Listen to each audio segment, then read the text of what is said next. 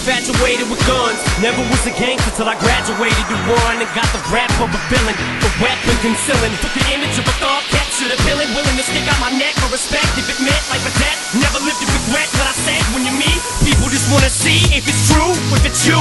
What you saying, you rap, rap, what you do, so they feel it's part of your obligation to fulfill. When they see you on the streets, face the you for real. The confrontation ain't no conversation, it push me. If you're in violation, any hesitation to get you killed. You feel it, kill it. If you can conceal it, reveal it. Being reasonable will leave you full of bullets, bullets. Push me, pussies. I need a good reason to give this trigger a good. I love pissing you off, gets me off. Like my lawyers when the fucking judge lets me off. All you motherfuckers gotta do is set me off.